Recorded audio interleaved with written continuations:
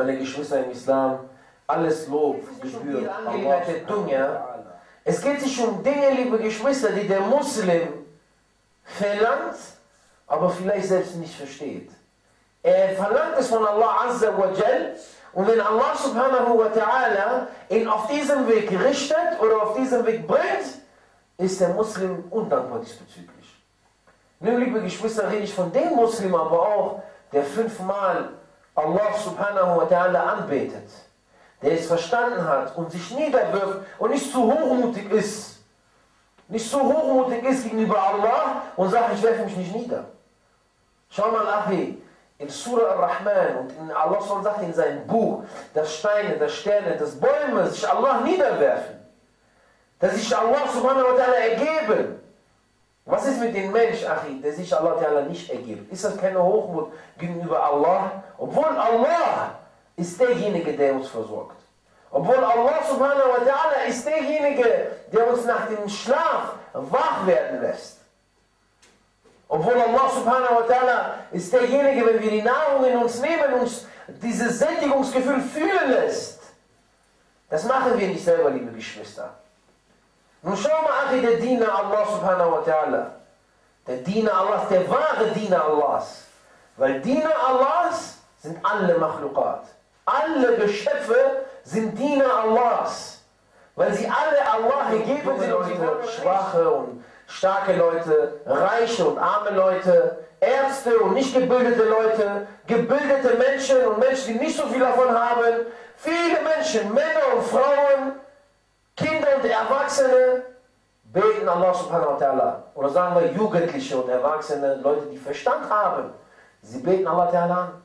Und die sagen in ihren Gebeten einen Satz oder mehrere Sätze, was Verlangen ist, aber sie selber nicht ehrlich dazu sind. Zum Beispiel, sie sagen, Iyaka na'budu wa Iyaka nasta'in. Guck mal, eine Ayah von Surah Al-Fatiha. Einen Vers, den wir öfters in unseren Gebeten rezitieren. Weißt du, was du verlangst, Achi? Wenn du sagst, Iyaka. Dir allein dienen wir und dich allein bitten wir um Hilfe. Weißt du, was du verlangst, wenn du diese, diesen Ayah von Allah, wenn du Ayah, diese Ayah zu Allah sprichst? Weil wenn du dich vom Gebet stellst, sagst, sprich zu Allah subhanahu wa ta'ala oder rezitierst du einfach etwas auswendig gelerntes. Oder sprichst du etwas auswendig gelerntes. Die Frage ist, die sich jeder stellen muss.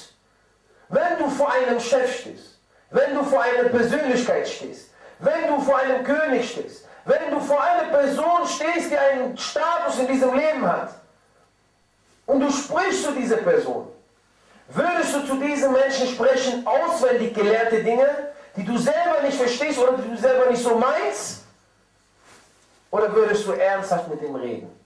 Der Junge, der in der Schule ist, muss ernsthaft mit seiner Lehrerin, mit seinem Lehrer reden. Das ist eine Tatsache. Der, muss, der kann nicht sich hinstellen und irgendeinen irgendein Flachs erzählen und irgendeine Dinge erzählen, die nicht stimmen. Die der nicht selber glaubt.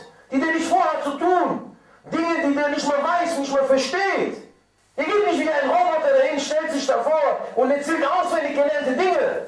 Er vorbereitet sich, er weiß, was er redet, er weiß, was sein Ziel ist, er weiß, was er verlangt. Jetzt stehen wir vor Allah subhanahu wa ta'ala.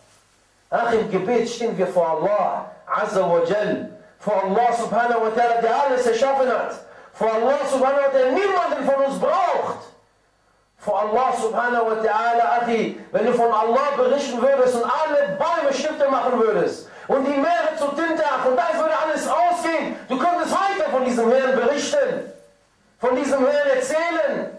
Hier stehen wir vor Allah, du sagst Allahu Akbar und du stehst vor Allah, dem Gott der Menschheit, Achi. Der dir das Leben gegeben hat, als du im Bauch deiner Mutter warst. Der dir das Sterben geben wird, wenn du von dieser Erde gehst und jeder wird von dieser Erde gehen. Du stehst vor Allah, dem alles gehört. Alles gehört ihm, Achi. Und nichts, nichts, aber gar nichts auf dieser Erde oder in dieser Schöpfung ähnelt diesem Herrn.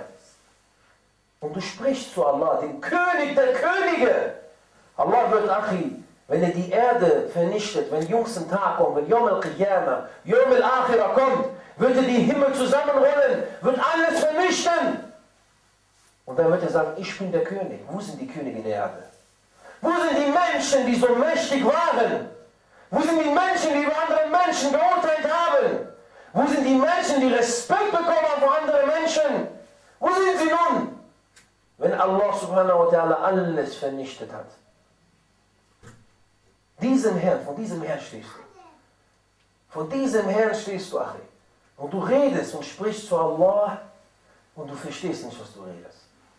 Du stehst vor Allah und du weißt nicht, was du verlangst.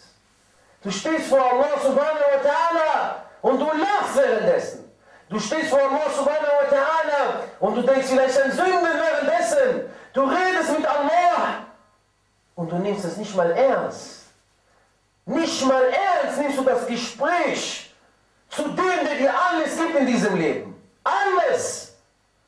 Alles. Dein Verstand, deine Gesundheit, dein Stehen, dein Gehen, dein Sitzen, deine, deine Art und Weise zu sprechen. Er kann dir alles in einem Tag nehmen. Dein Sehen nach deine Sicht, dass du nicht blind durch die Straße gehst, dass du gehen kannst. Schau mal nach. Und du stehst vor diesem Herrn und verlangst Dinge, die du nicht verstehst. Oder du verlangst Dinge, die du nicht meinst. Du sagst, die allein dienen wir. Und trotzdem dienst du Allah nicht allein. Al-Ibadah, liebe Geschwister, Al-Ibadah, dieses Wort hat Bedeutung. Allah subhanahu wa ta'ala hat uns nicht befohlen, allein zu dienen ohne Sinn. Allah sagt, وَمَا خَلَقْتُ الْجِنَّ وَالْإِنسَ إِلَّا لِيَعْبُدُونَ Schau mal, der Sinn, Achi, der Sinn, warum Allah uns erschaffen hat überhaupt, ist, dass wir ihn dienen. Kann es sein, dass wir dann mit seinen Ibadah so umgehen? Kann es sein, dass Allah eine einzig alleinige Ibadah für sich verlangt und wir mit ihm so umgehen und wir Allah Ta'ala dienen, wie wir möchten? Warum hat Allah subhanahu wa ta'ala den Prophet Muhammad sallallahu alaihi wasallam zu uns geschickt, zu den Menschen, zu der ganzen Menschheit? Als ein Warner, als ein Vorbotschaft. Warum? Damit er uns beibringt, wie wir Allah Ta'ala zu dienen haben. Sagt Allah subhanahu wa ta'ala, قل إن كنتم تحبون الله فاتبعوني يحببكم الله. Allah sagt das, Achi. Er sagt, sprich zu Muhammad, sagt er zu Muhammad, der soll das zu wem sagen? Zu uns, zu den Gläubigen. Die sagen, der sagt, sprich, O Muhammad. Sag zu ihnen, wenn sie Allah lieben, so sollen die dir folgen. Lieben wird sie Allah. Wenn sie Allah lieben, so sollen die dir folgen. In der Ayah sinngemäß, wenn, und wenn ihr Allah liebt, so folgt mir. Damit ist der Prophet Muhammad gemeint. Lieben wird euch Allah und eure Sünden vergeben. Schau mal, Achi, ganz einfache Dinge. Doch der Mensch kennt den Prophet Muhammad nicht. Der Mensch folgt dem Prophet sallallahu alaihi wasallam nicht. Der Mensch kennt nicht mal, der Muslim kennt nicht seinen Namen. Der Muslim hat vergessen, wie der war. Der Prophet Muhammad sallallahu alaihi wasallam. Der Muslim bevorzugt Benehmen anderer, anstatt das Benehmen des Propheten sallallahu der hatte das beste Benehmen. Der Muslim bevorzugt andere Richtungen, anstatt die Richtung des Gesandten sallallahu alaihi wasallam. Schau mal, Achi, wir haben Afdal Khalik. Ich habe ihm gesagt, die bevorzugte Schöpfung hat Allah geschickt. Und was machen die Menschen? Folgen andere Dinge. Behaupten aber, dass sie Allah dienen.